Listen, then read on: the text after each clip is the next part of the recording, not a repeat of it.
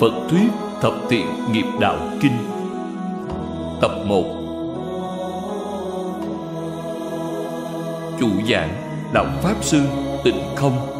Thời gian ngày 21 tháng 4 năm 2000 Giảng tại Tịnh Tông Học Hội Singapore. Chư vị đồng học, Chào mọi người. Hôm qua Chúng tôi đã giảng viên mãn cảm ứng thiên. Văn tự của cảm ứng thiên tuy không dài. Người xưa hồi tập lại một số câu chuyện nhân duyên. Cũng chính là rất nhiều câu chuyện cảm ứng trong lịch sử. Sưu tập rất là phong phú. Có lý luận, có sự thật. Nếu như giới thiệu tường tận, thì không thể nào nói hết được. Ngày trước có rất nhiều sự thật cảm ứng, hiện tại còn nhiều hơn. Chúng ta ở Trung Quốc, ở ngoài nước, từ báo chí, tin tức, truyền hình, thường có được rất nhiều báo cáo về phương diện này.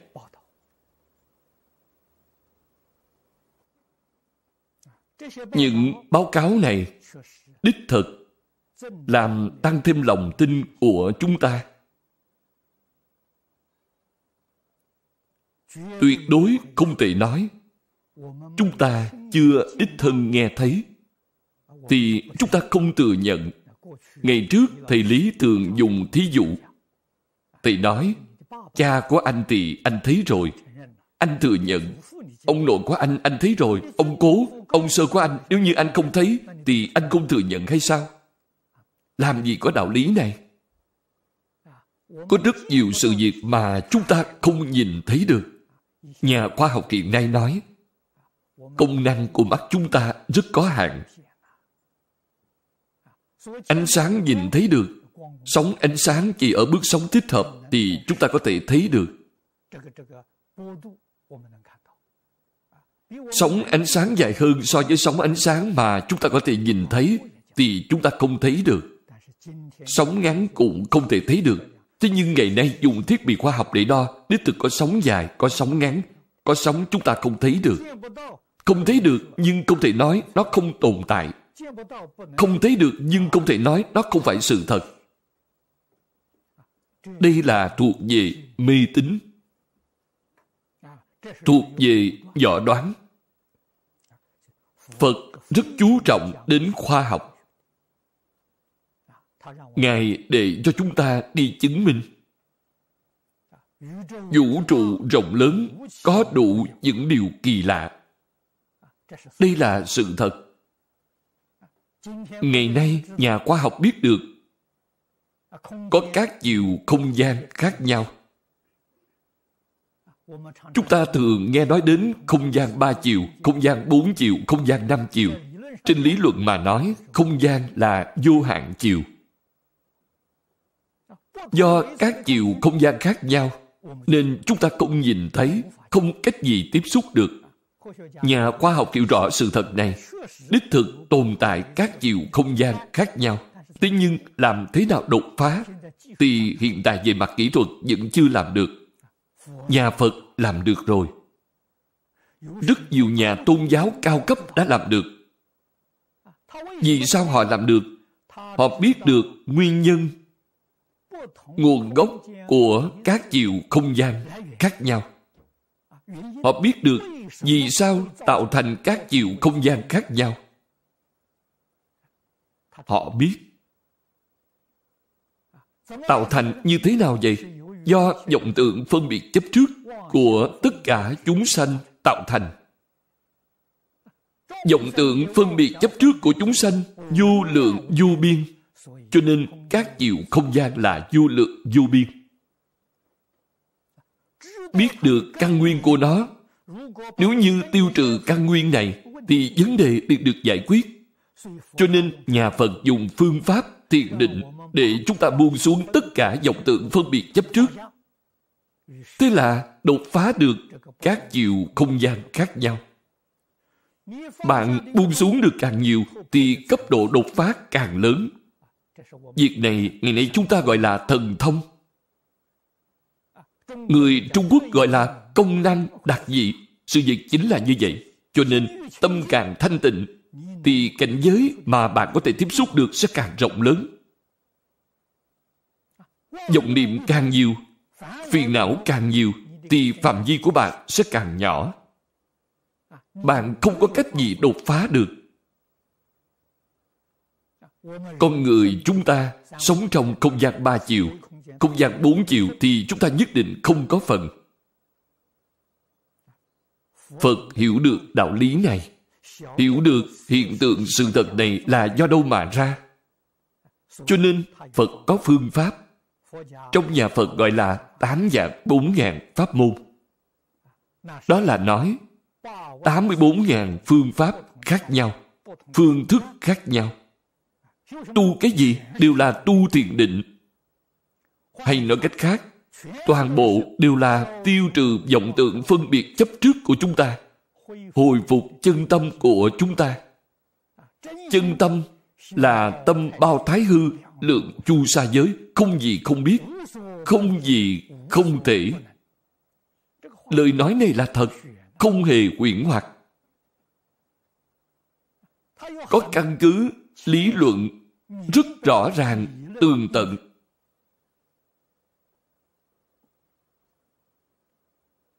Đây là Phật dạy bảo chúng ta.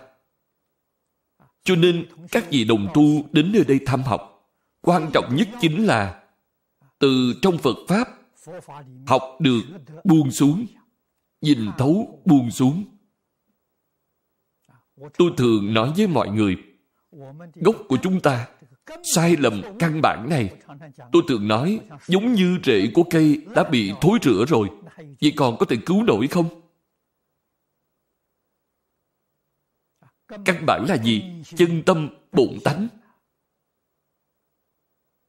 Chân tâm bổn tánh của chúng ta vì sao bị thối nát? Vì sao bị hư hoại? Vì đã nhiệm phải tự tư tự lợi Vậy thì xong rồi.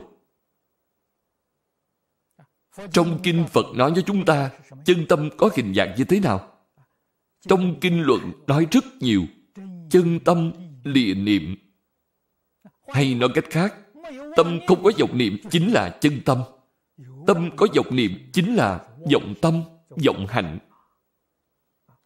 Vọng là gì vậy? Là vọng niệm. Trong vọng niệm nghiêm trọng nhất chính là ngã chấp khởi tâm động niệm đều là ta lợi ích của ta vậy thì hỏng rồi. Bạn vẽ ra cái vòng quá nhỏ. Chỉ có ta đều không có người khác. Tôi nghe rất nhiều người nói, hai vợ chồng đều có bí mật.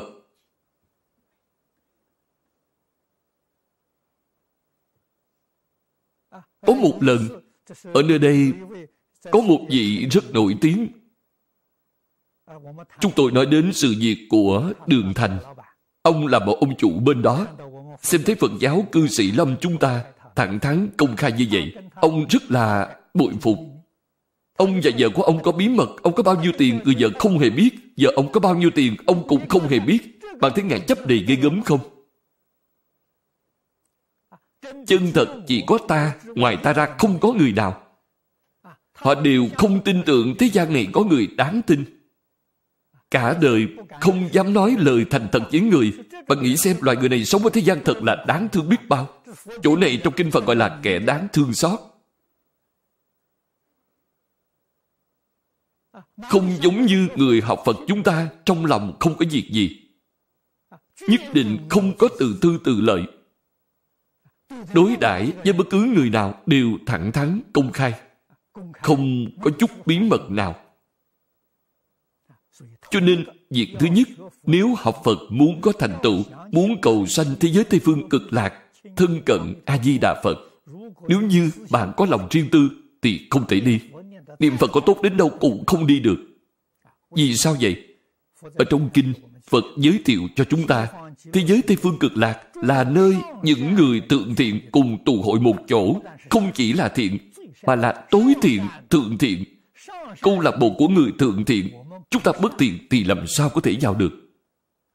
A-di-đà Phật, cho dù từ bi hoan nghênh bạn đến, nhưng đại chúng ở nơi đó sẽ không hoan nghênh. Chúng ta phải hiểu rõ đạo lý này. Thượng thiện là gì? Nhất định không có từ tư từ lợi. Bạn có từ tư từ lợi, nói lời chân thật, phước báo của bạn dù lớn đến đâu, thì hưởng thụ của bạn cũng chỉ một đời.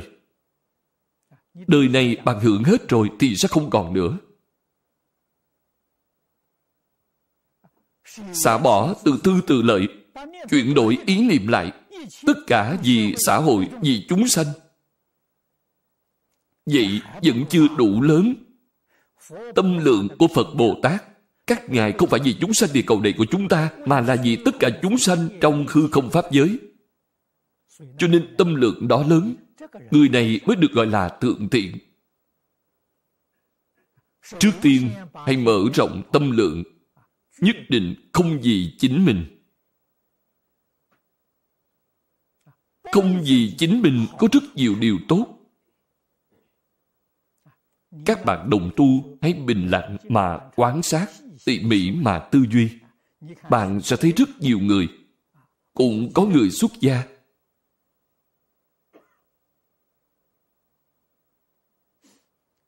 Người vì chính mình thì hình tướng của họ như thế nào? Người không vì chính mình. Chúng ta đây là không vì chính mình. Mỗi một tuần lễ có hai ba đoàn đến nơi đây thăm tôi. Đây là thí dụ rất rõ ràng. Nếu như tôi tự tư tự lợi, các bạn nhất định sẽ không đến nơi đây thăm tôi không hề tự tư tự lợi tất cả đều công khai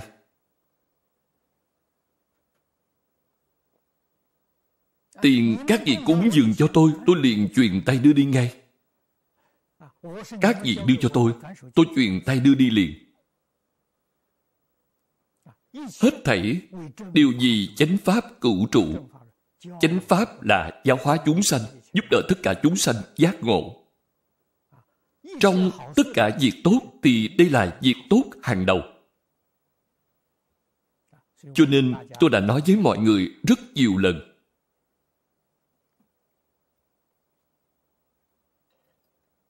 Muốn an định xã hội muốn thế giới hòa bình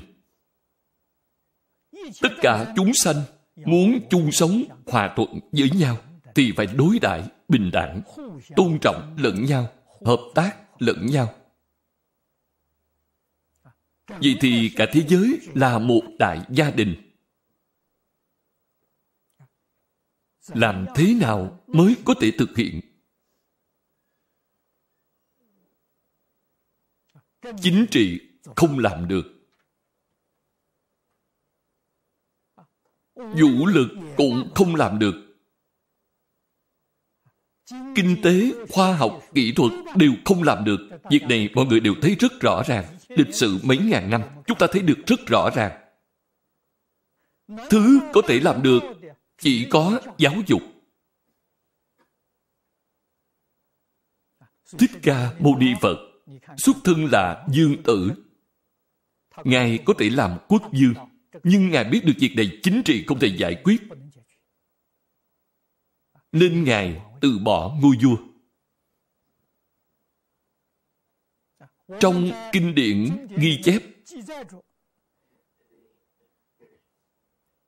khi Thích Ca Mâu Ni Phật còn trẻ võ nghệ siêu quần. Ngài có thể làm tướng quân, làm nguyên soái. Nhưng Ngài không làm việc này. Ngài biết được việc này không thể giải quyết được vấn đề, nên xả bỏ hết. Cả đời theo đuổi công tác giáo dục xã hội đa nguyên văn hóa. Thích ca mâu ni phật là thân phận gì? Là người như thế nào? Dùng lời nói hiện nay mà nói, ngài là người làm công tác giáo dục xã hội đa nguyên, văn hóa. Ngài làm sự việc này.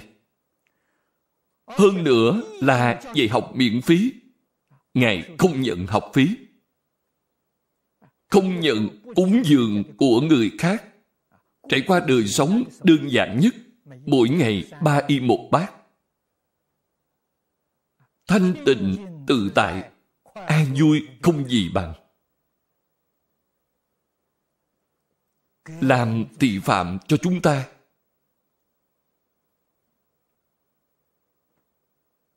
Năm xưa ở đời ngài du học năm khu vực ở ấn độ. Ấn độ chia làm năm khu vực.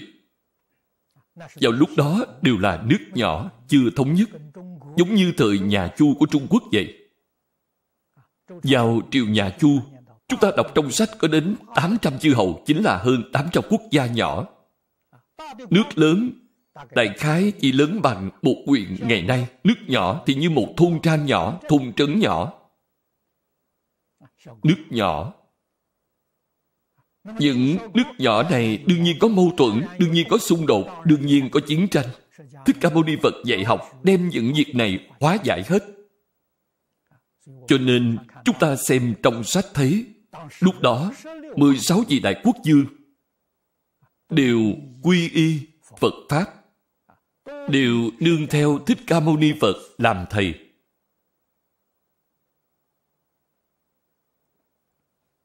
Đây là họ hiểu được. Cổ thánh tiên hiện của Trung Quốc cũng hiểu được đạo lý này.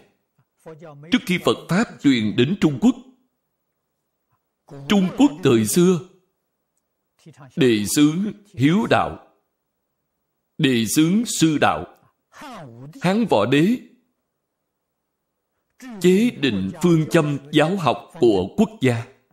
Cũng chính là ngày nay chúng ta gọi là chính sách giáo dục.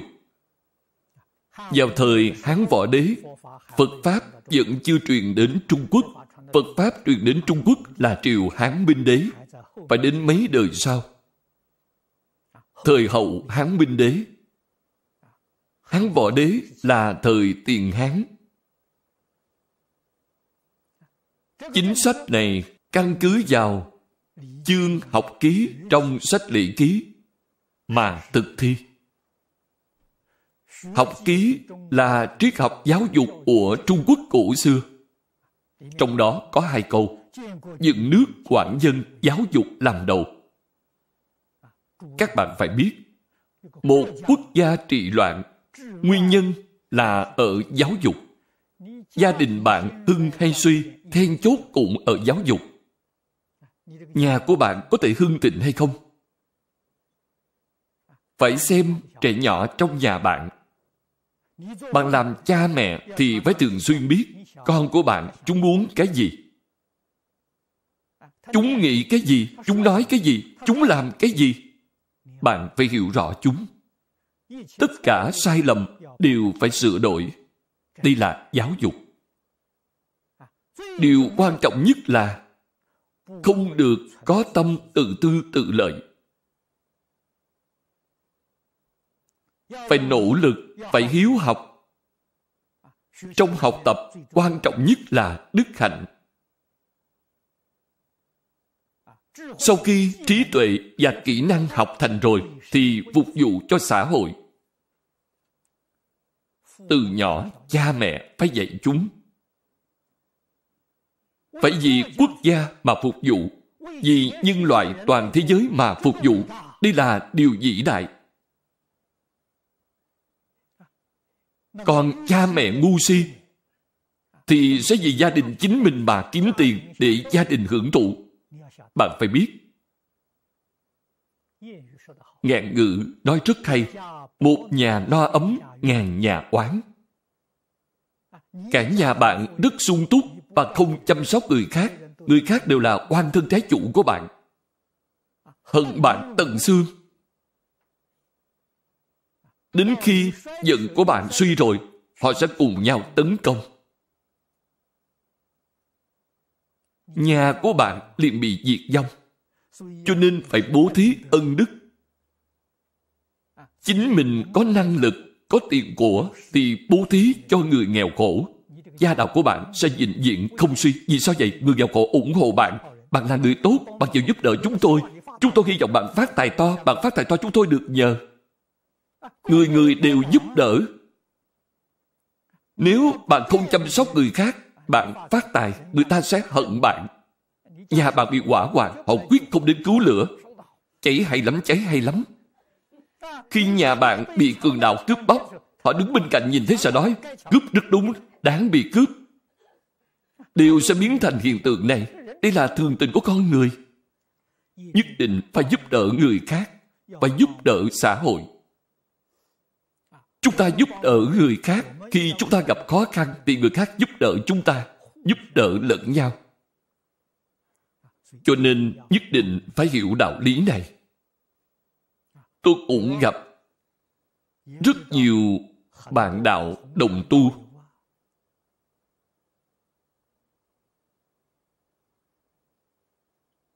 Thậm chí một số lão Pháp Sư đến hỏi tôi Pháp Sư tịnh không Tôi muốn học tập với thầy. Tôi hỏi học gì vậy? Tôi có gì hay mà học đâu.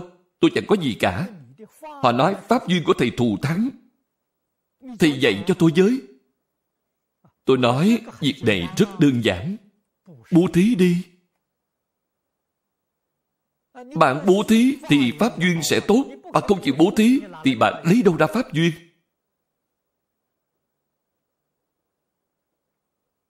Mấy chục năm qua, tôi ở trên đài giảng kinh, năm nay được 41 năm rồi. Những băng ghi hình, băng ghi âm của chúng tôi hiện tại làm thành đĩa và in thành sách. Phía sau tờ bản quyền của chúng tôi đều là hoan nghênh sao chép. Tuyệt đối không có nói sở hữu bản quyền sao chép truy cứu. Nhất định không có như vậy. Cho nên băng đĩa sách giảng của chúng tôi lưu thông khắp thế giới. Pháp duyên tụ thắng như vậy, nếu như phía sau tôi in lên sở hữu bản quyền sao chép truy cứu thì Pháp duyên xong rồi. Ngày nay, vì sao sinh ra ảnh hưởng lớn đến như vậy trên thế giới? Rất nhiều đồng tu nói với tôi, tính toán và giặt nhất thì có hơn 200 triệu người. Đó là tính toán rất dè dặt. Do nguyên nhân gì? Chính là không có bản quyền mọi người hoan hỷ lưu thông chúng ta là lợi ích xã hội. Lợi ích đại chúng. Bạn hà tất phải cần bản quyền. Bạn muốn bản quyền đó. Bạn lấy được bao nhiêu tiền?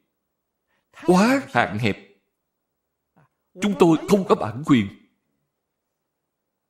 Bạn xem số người rất đông. Mỗi một tháng đều có mấy trăm người từ nước ngoài đến thăm tôi. Đến thăm tôi đều mang một ít cúng dường. Tiền quá nhiều. So với thu nhập bản quyền của bạn, không biết là vượt hơn bao nhiêu lần. Đây đều là sự thật. Chúng tôi đem số tiền này làm càng nhiều kinh sách băng đĩa hơn. Kết duyên cùng với các nơi trên thế giới. Cho nên, tiền nhiều thì làm nhiều, tiền ít thì làm ít. Không tiền là tốt nhất.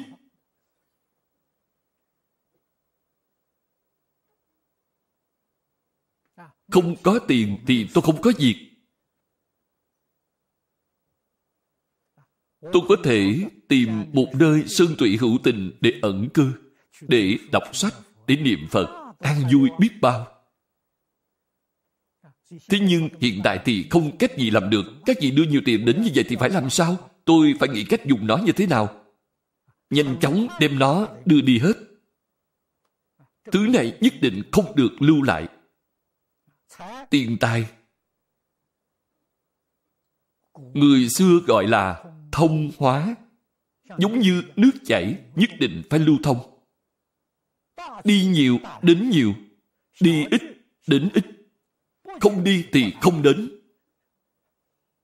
Thông hóa thì phải lưu thông mới được, không được tích tài. Hệ tích thì sai rồi. Trong Kinh Phật nói, tích tài hại đạo. Đạo sẽ không còn. Cho nên không thể tích tài. Tiền tài nhất định phải dùng. Đặc biệt phải giúp đỡ người khổ nạn. Cho nên Chúng ta làm nhiều việc lợi ích cho xã hội, lợi ích cho đại chúng. Đây là công đức chân thật. Đời này bạn đến không hề uổng phí. bạn đã không sống uổng.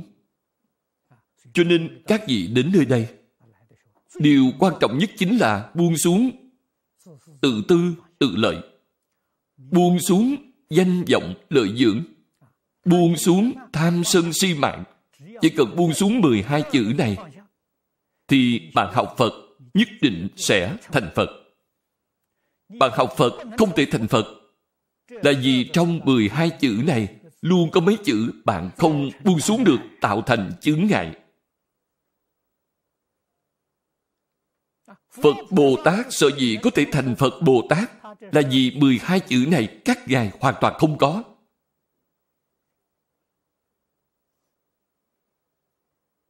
Học Phật Mọi người thường nghe nói chư Phật Bồ Tát từ nguyện tái lai. Thế nào gọi là từ nguyện tái lai? Nếu như chúng ta phát nguyện, nguyện lực siêu dược nghiệp lực của chúng ta, thì hiện tại chúng ta là thừa nguyện tái lai. Phật Bồ Tát là nguyện gì? Chúng ta biết Phật Bồ Tát ứng hóa đến thế gian này. Thân thể này là phục vụ cho mọi người. Không phải vì chính mình.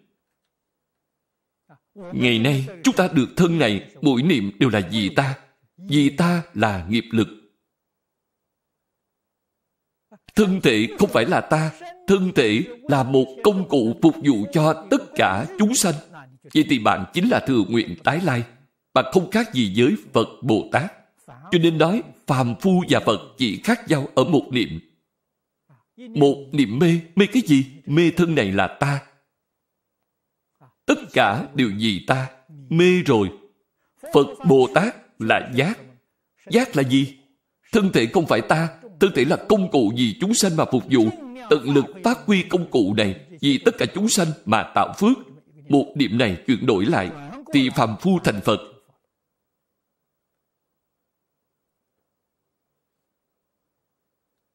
Không vì chính mình, thì phước báo của chính mình vô lượng, vô biên. Trí tuệ vô lượng, vô biên Chúng ta ở chỗ này làm một sự chuyển biến lớn 180 độ. Thì các bạn học Phật ngay trong một đời này khẳng định thành tựu.